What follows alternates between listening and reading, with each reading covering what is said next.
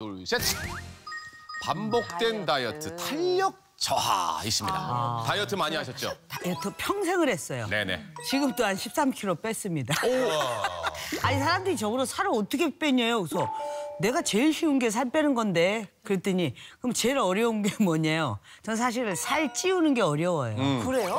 진짜? 아니 근데 반대 아닌가요? 아니 근데 여러분들이 진짜 아셔야 되는 게 뭐냐면 이경희 씨 결례가 아니라면 어 진짜 몸매를 전체적으로 보면 저분은 뚱뚱한 분이 아니에요. 맞아요. 자 여러분들 보시면 날씬해. 날씬합니다.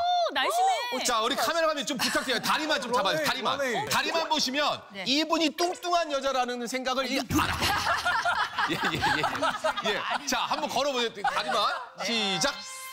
엄청 날씬하십니다. 어, 날씬하시네요. 날씬합니다. 아니, 날씬합니다. 아니. 어! 어, 세트가 와! 아유, 죄송합니다. 예, 예. 자 보신 바와 같이 이렇게 날씬합니다. 아니, 날씬한 게 아니라 이건 너무 말랐어, 아, 지금. 말, 아 말을 좀 다른 정도예요, 지금. 이미혁 씨그 정도는 아닙니다. 어머?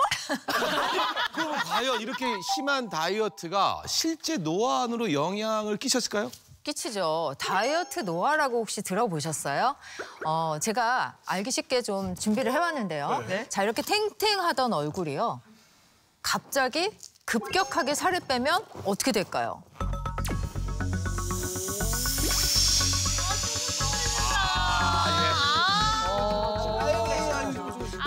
젊었을 때는 이 탄력이 있어서 좀 볼륨이 줄어도 딱 가서 붙어요. 그런데 이게 이제 나이가 들면서 갑자기 살을 빼게 되면 볼륨이 이렇게 줄어버리니까 피하 지방층이 없어지잖아요. 거기 이제 표피가 가서 붙지를 못하는 거예요. 그래서 탄력이 처지게 되고요. 또 하나는 지나친 식습관 조절도 문제죠.